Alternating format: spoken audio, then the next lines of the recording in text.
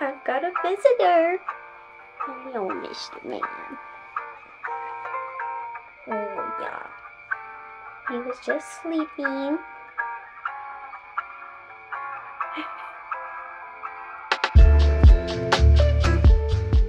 Hello everyone and welcome back to my channel. So today's video is going to be my 2024 language goals. I will break this video up into two parts. This first part is going to be the language goals and then part two is going to be a Notion template. So without further ado, here is my 2024 language goals. So first I'm going to break it down into five overall goals that I have for this year that apply to any language that I'm learning. And then I'm going to break it down into quarters because I feel like that would make language learning in 2024 a lot less stressful because 2023 didn't go as planned. I basically dropped every single language in 2023. I was feeling myself too much. I was too confident. I was overzealous. I really thought that I could do it all in 2023. And a lot of unplanned but planned things happened in 2023 that I wasn't expecting to happen in 2023, but it happened. That makes sense. Anyways, 2023 didn't go how I wanted to go language wise, so 2024 we're thinking smarter and not harder. So without further ado, let's get started. So the first goal that I have for the overall language learning path of 2024 is to study at least 15 to 30 minutes a day. If I'm not doing anything, I can at least review or study something for 15 to 30 minutes.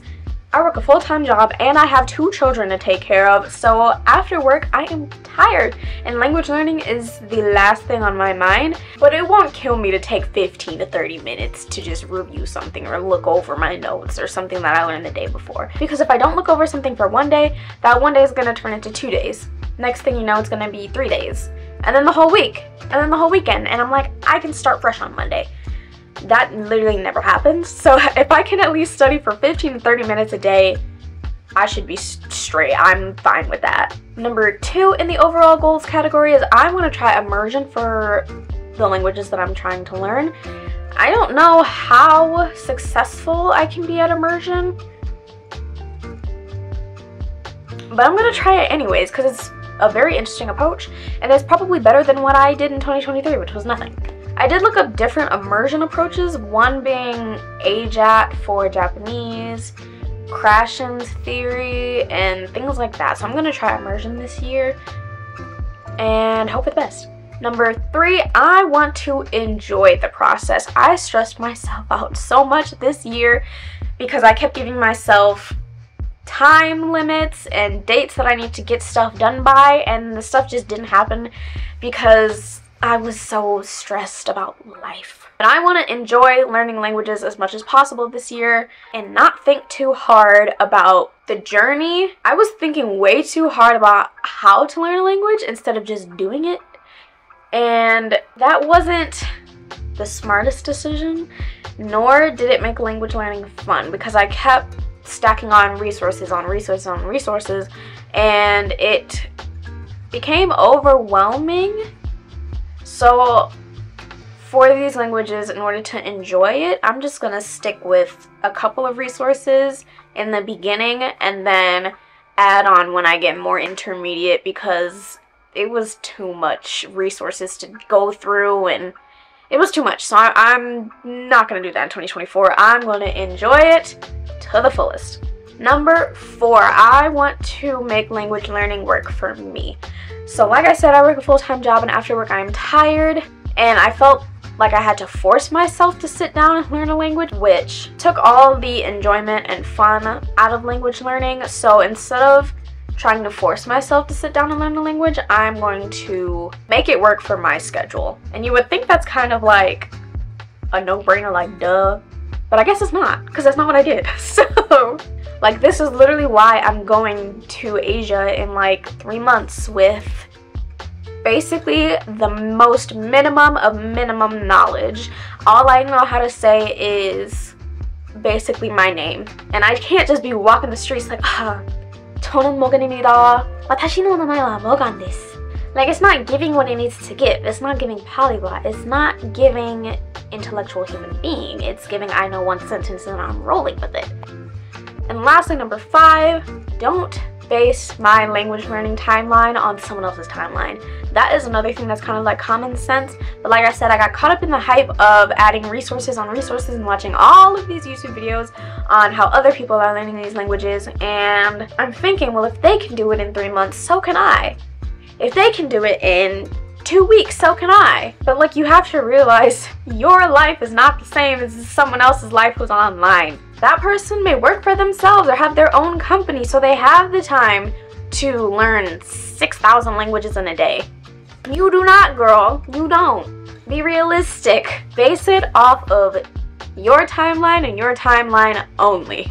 So with that, I am now going to break it down by each language, and instead of doing yearly, goals this time. I want to do quarterly goals. Starting off with Japanese, in the first quarter, I want to complete the Remember the Kanji book as well as Genki 1. And I think I also have the Genki workbook that goes with the first textbook. I think I do. I can't remember. It's probably buried somewhere after I moved, but I want to finish both of those books within the first quarter. I also want to do Anki every single day. That's something I can do for like five minutes, if anything. And I also want to work through the Tae Kim's Guide to Grammar. I've heard a lot of people talk about that website and it's free, so I will most definitely be utilizing that within this first quarter of learning Japanese. I do want to truly focus on immersion for Japanese because, like I said, I will be going to Japan and Korea literally in three months and I want to get around decently. so I want to really focus on active and passive immersion, both.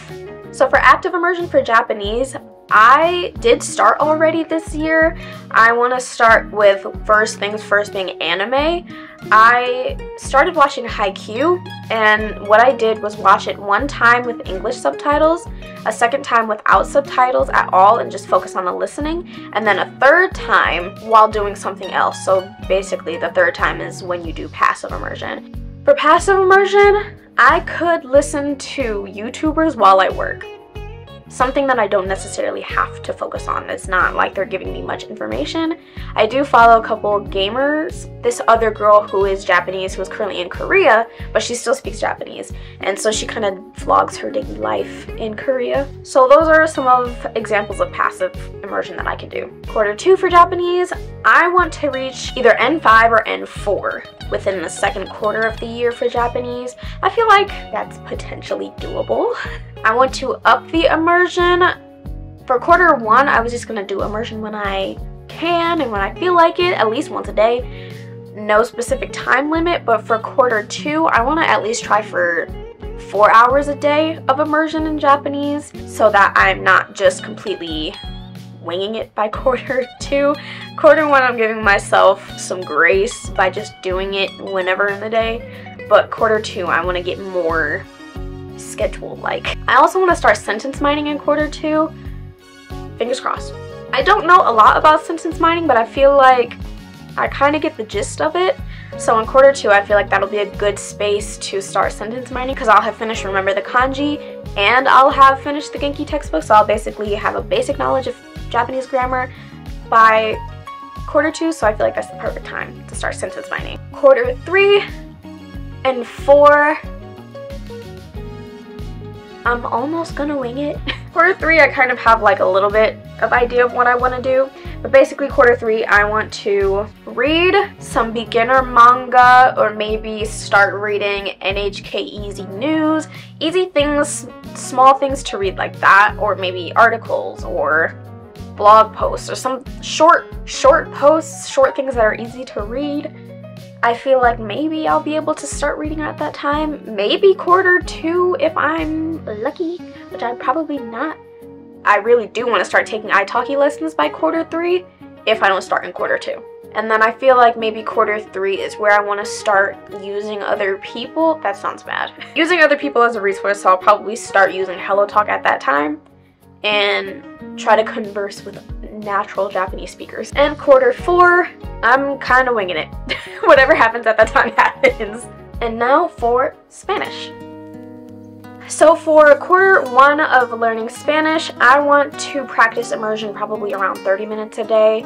that's something that I can do, and I'm not gonna specifically focus between active or passive. It's just whatever I feel like doing that day because I have a bit of an upper hand in Spanish compared to the other languages, so I feel like I can get away with doing passive immersion more than active immersion. I want to read at least one blog or article or short story or anything once a week within the first quarter because I feel like I'm better at listening and speaking over reading for some reason. I'm not sure if that makes any sense, but I feel like I am. I do also want to start sentence mining in the first quarter of Spanish because like I said, I have an upper hand in Spanish than I do any other language.